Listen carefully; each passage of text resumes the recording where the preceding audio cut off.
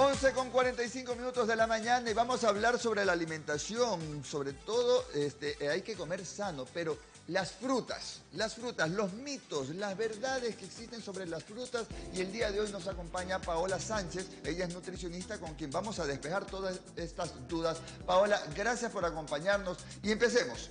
Eh, ¿Cuáles son los mitos que por lo general eh, llegan a consulta a ti? Bueno, el mito más común es si puedo comer fruta en la noche. Yo creo que ese es el mito más común. Y resulta que la fruta no cambia su composición, te la comas a las 6 de la mañana o a las 11 de la noche. Entonces puedes consumir fruta a cualquier hora del día sin ningún problema. Buenísimo, Pau. Y esto es súper importante porque a veces gente que por no comer fruta porque dice que le va a engordar, pues se come, no sé, una empanada o se come algo que más bien le puede hacer más daño. Ahora, hay muchas cosas que pasan con frutas. Por ejemplo, cuando se maduran mucho, el banano, cuando ya está muy mosqueadito, como le dicen, o muy madurito, ¿de verdad que ya no sirve o hasta qué momento lo podemos consumir?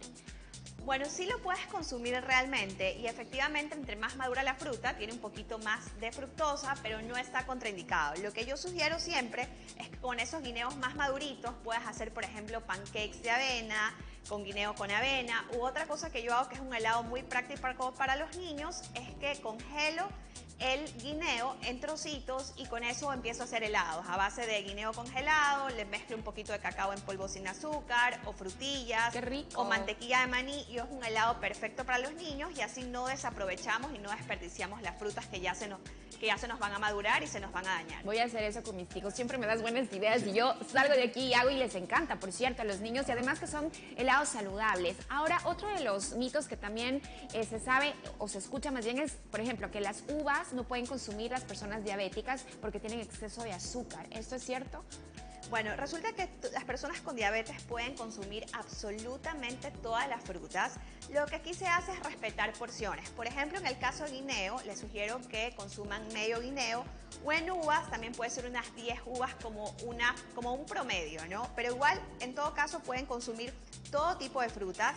Las frutas con menor índice glicémico o menor cantidad de carbohidrato están dentro de ellas los frutos rojos, las frutillas, los arándanos, las frambuesas, pero puedes consumir absolutamente todas las frutas. Solo hay que respetar un poco las porciones y eh, preferible evitarlas en jugo, porque cuando hacemos un jugo tiene mucha fruta en un vaso. Siempre aprovechar la fibra de la fruta.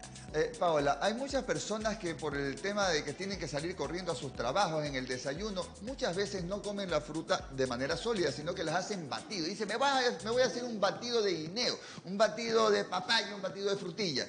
Eh, en el momento que haces el batido, ¿le quitas alguna propiedad nutricionista a la fruta?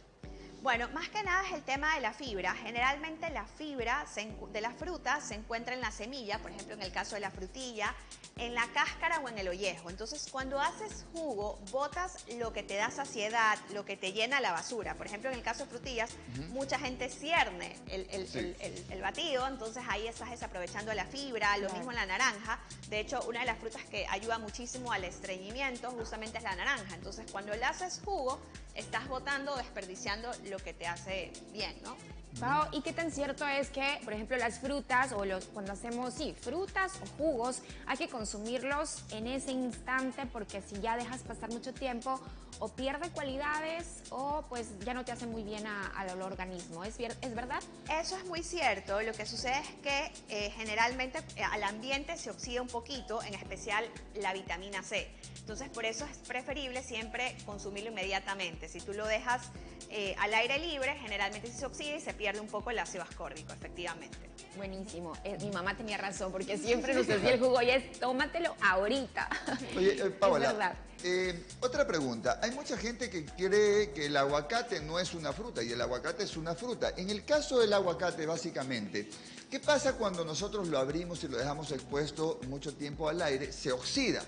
¿Hasta qué momento tú nos, recomiendas comer el aguacate? Cuando ya está muy negro, por ejemplo, cuando, cuando está muy negro, ¿hace daño comerlo? No es que necesariamente te hace daño, igual por eso siempre es bueno que lo saborees, porque a pesar de que se oxide y cambia su color, en muchas ocasiones, no sé si te ha pasado que igual sabe bien el aguacate. Entonces, más bien te puedes guiar un poco por el sabor del aguacate, Ya. que necesariamente no por el hecho de que está un poco eh, negrito, no quiere decir que esté dañado necesariamente, sino que se oxida simplemente, pero, o sea, se pierde un poco de vitaminas minerales, pero no quiere decir que no esté para el consumo, ¿ya? Igual por eso es preferible siempre ponerle gotitas de limón, inclusive, o por ejemplo, cuando lo vas a guardar, que a veces uno usa solo la mitad del aguacate, eh, bueno, pues guardarlo con la pepa, o le pones un poquito de aceite de oliva extra virgen o limón. Ahí tienes las tres técnicas para no, no desperdiciar el Buenísima, aguacate. esa mira no sabía, solo sabía la de la tampoco. pepita. Qué chévere, Pau. Oye, y también algo importante, eh, bueno, cada fruta tiene como cualidades específicas. En el caso de la pitahaya, pues ayuda al sistema digestivo, pero hay personas que dicen, no, la verdad es que no, prefiero no comer porque eso me da, me afloja el estómago. ¿Eso es verdad? ¿O es que eso depende de cada persona? Porque yo puedo comer pitahaya todo el día, a mí no me pasa eso, pero es- ¿eso depende de cada persona? Sí, mira, todo va a depender de tu digestión actual. Hay personas que tienen muy, muy buena digestión, entonces como la pitahaya es una de las frutas con muchísima fibra, les causa justamente diarrea. Entonces, pero es totalmente cierto. Eh, no es que es una fruta muy indicada, yo la sugiero mucho, en especial a las personas que sufren de estreñimiento. Pero las personas que tienen buena digestión, pues les causa lo contrario. Pues. Eh, Paulita, como última pregunta de esta entrevista, hablemos de la piña propiamente. A mí me encanta la piña, pero hablan de que el, el tema del corazón a veces no es saludable comerlo. Ahora pregunto, ¿es saludable o no comer el corazón de la piña? Mira, lo que pasa es que la piña tiene una enzima digestiva y que es, es muy bueno porque es como, digamos que tiene una enzima digestiva natural que es la famosa bromelina. Entonces sí la puedes, eh, es- va muy bien. Ahora, tienes que tener cuidado pues porque todo en exceso, a pesar de que sea un fitonutriente, no todos los cuerpos reaccionan iguales. Entonces también tienes que tener un poco ahí de, de control. Yo siempre como que trato de no ni endiosar a ningún alimento ni satanizar a ningún alimento porque hoy por hoy antes se educaba a nivel nutricional como por ejemplo la, me acuerdo, la zanahoria para los ojos, esto para el otro, pero realmente hoy por hoy las nutricionistas educamos a través de una, un estilo de vida, porque no es específicamente, no existe un alimento mágico, sino más bien es tu estilo de vida y cómo lo manejes a lo largo del día. Totalmente de acuerdo, Pau. El estilo de vida es integral, tiene que ver con la nutrición, con el estado físico, con el aspecto emocional, los pensamientos. La verdad es que tenemos que trabajar en muchos aspectos para mantenernos íntegros y el comer frutas. Solo imaginen todos los colores que tienen las frutas. No sé, yo cuando las veo y me alimento de ellas siento que es pura vida. Y eso es lo que tenemos que darle a nuestro cuerpo. Gracias, Pau, por estar con nosotros. El Instagram de Pau en pantalla para que puedan seguirla y bueno, tener una consulta directamente con ella. Ahora nos vamos a Cuenca, Hernán. Qué gusto verte después de tanto